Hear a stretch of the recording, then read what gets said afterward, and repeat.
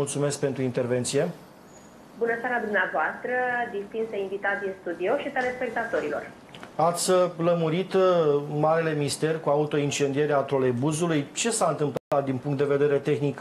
Eu, în afară de comentarii de asta politizate, v-au criticat unii, dumneavoastră ați răspuns, dar ce s-a întâmplat fizic, să spun așa, acolo, cu mijlocul ăsta de transport în comun?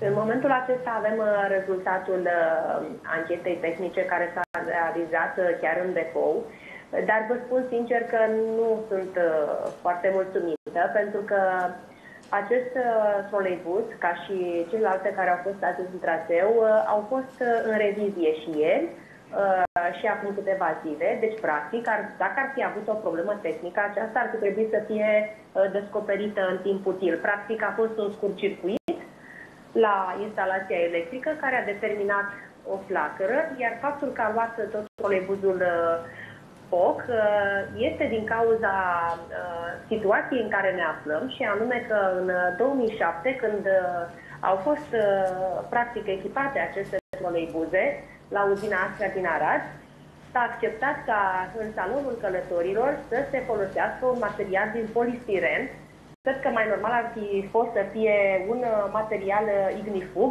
astfel încât în cazul uh, unui astfel de incident, deci a unui scurt circuit, flacăra să nu se extindă atât de rapid. Aceasta este explicația pentru flacăra atât de, de mare. Practic, troleibusul din imagine și încă 99, pentru că au fost 100 în total în anul 2007, prin achiziția de către Astra Arad a caroseriei de tip Iveco de la autobuze, s-au echipat și s-au transformat acestea în uh, troleibuze. Vreau să vă spun că sunt și eu uh, realmente uimită uh, de turnura agresivă pe care a luat-o politica noastră și vă spun și de ce. Dacă eu eram un primar care nu mă preocupam să noiesc parcul auto al societății de transport, da, astăzi oricine putea să vină să spună că sunt vinovată. Nu vinovată de scurt circuit sau de extinderea flăcării, ci pentru faptul că nu m-am preocupat să organizeze licitații legale, astfel încât să avem uh, atât autobuze noi, moderne, cât și troleibuze, iată, avem unul care a luat foc, tramvaie și așa mai departe. Am semnat anul acesta contractul pentru 100 de troleibuze noi, uh, contract uh, care a fost câștigat de către un consorțiu germano-turc. Vor veni troleibuzele noi în București, dar eu pun întrebarea de ce a trebuit să așteptăm atât de mult am fost blocați 2 ani de zile și cu această licitație, la fel cum am fost blocați 2 ani de zile și cu licitația la tramvaie, care încă nu este finalizată, pentru cine, ea cine a blocat? decizia curții uh, de apel. Sunt companii, unele dintre ele participă la licitații, altele nici măcar nu se înscriu, dar le permit de legea achizițiilor publice să facă contestații și practic să frâneze procesul de achiziție în final, și pentru autobuzele Euro 6, cele 400 care sunt deja în trafic, dar tot așa a fost și acolo o licitație blocată 2 ani, s-a dovedit că motivele inventate pentru șicane nu au fost acceptate de către instanțe și, practic, punctul nostru de vedere a ieșit la lumină. De asemenea, am achiziționat 130 de autobuze hibrid Mercedes-Benz. Cu alte cuvinte, am avut o preocupare pentru noirea parcului auto. De ce sunt eu vinovată? Păi, apropo de discuția dumneavoastră cu doamna doctor, probabil că sunt vinovată și de pandemie. Probabil că toți eu sunt vinovată că nu se găsește un vaccin.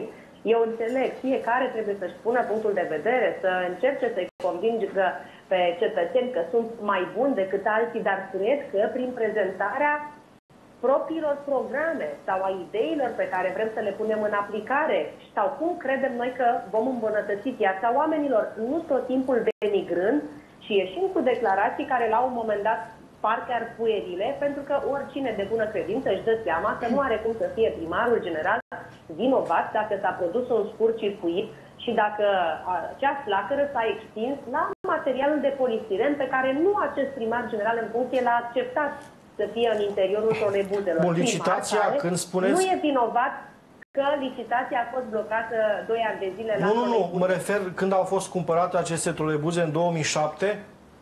Da, da, da, ele practic am spus. S-au cumpărat, cumpărat caroserii de autobuze Iveco și s-au echipat transformându-se în troleibuze la uzina Astra Arad. Păi nu înțeleg, de ce nu au cumpărat troleibuze direct? De ce au făcut asta?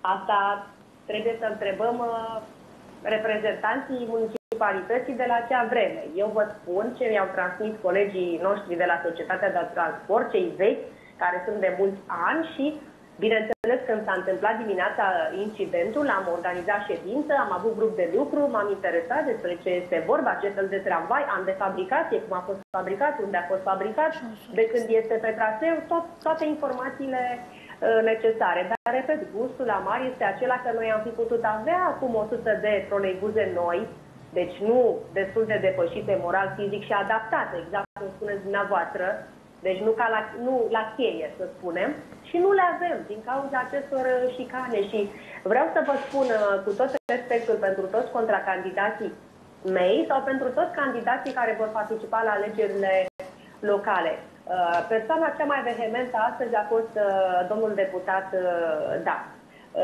Adresez o întrebare și sper să răspundă când va veni în platou la dumneavoastră în minutele următoare. Ce a făcut ca parlamentar de București pentru capitală cât a lucrat în Parlamentul României.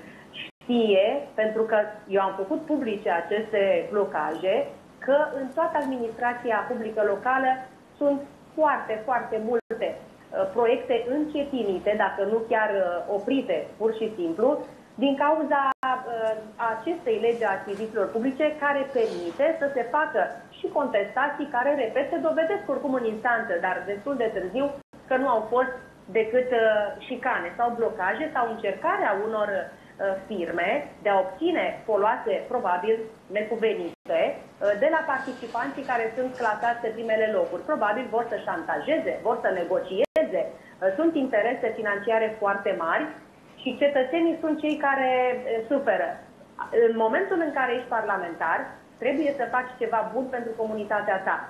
Dacă vii pe urmă și doar pretinzi că ceilalți nu au făcut nimic, trebuie să vii să explici ce ai adus tu bun pentru comunitatea pe care vrei să o reprezinți. Doamna Firea, dacă îmi permiteți, bună seara, pot să vă adresez Sigur, o întrebare. Uh, dacă v-ați gândit în viitorul apropiat să renunțați la, la troleibuze, pentru că, după cum bine știm, avem autobuze electrice, ce sens mai are să refaceți uh, uh, toată, tot, uh, să le faceți numărul de troleibuze din București atâta timp cât avem varianta de autobuze electrice. Mi se pare că dacă am renunța cel puțin parțial la aceste troleibuze și traficul ar fi mult fluidizat în anumite părți, uh, poate este o idee pe care ați putea să o luați în calcul la un moment dat, o sugestie. Cele mai prietenoase mijloace de transport cu mediul sunt, așa cum ați uh, subliniat și dumneavoastră, autobuzele electrice, autobuzele hibrid, de care am achiziționat 130, de asemenea tramvaile și troleibuzele, într-adevăr, cu mențiunea că ele pe anumite tronsoane pot să creeze anumite dificultăți. Noi avem acum uh, peste 200 de troleibuze, intenționăm să rămână în trafic doar cele 100 care vor fi foarte noi, practic, pe care le-am achiziționat uh, acum. Urmează să vină prototipul și apoi se uh, începe linia de fabricație. Deci, într-adevăr, trebuie să ne gândim doar la mijloace de transport în comun prietenoase cu mediul și să-i determinăm pe cetățeni, poate nu fiecare zi sau nu cu fiecare ocazie, dar da. cât mai des, să folosească transportul în comun tocmai pentru a degaja... Doamna Firea, o ultimă întrebare și un răspuns scurt, dacă, dacă se poate. Vă gândiți să le scoateți din uz pe aceste trolebuze cumpărate în administrația Videanu? Câte au cumpărat, de fapt? Asta din 2007. 100. Acestea 100? 100 și mai sunt, mai sunt 100 din anii 90. 90? Cum să fie din anii 90? Da, în București 100, circulă? 100, 100 din 2007 și 100 din anii 90. Vă spun uh, cifrele corecte. Anii 90, Dar, cât în mijlocul anilor 90, discutăm de 20 ceva de ani, doamna, doamna primar. Exact, de aceea și vrem să noi în parcul auto, dar ce spuneți de autobuze mult mai vechi pe care le-am înlocuit? Și încă o mențiune, când am ajuns primar, în traficul din capitală, de aceea era atât de mare aglomerație în toate mijloacele de transport în comun, erau doar 600 de autobuze, tramvaie și troleibuze. Acum avem aproape 2000 de mijloace de transport în comun, autobuze, tramvaie și troleibuze pe toată regiunea București-Ilfov. Mulțumesc pentru intervenție. foarte mult uh, calitatea transportului public în comun. Mulțumesc și o seară bună atât dumneavoastră cât și doamnei doctor. Da, Nicușor Dan va interveni.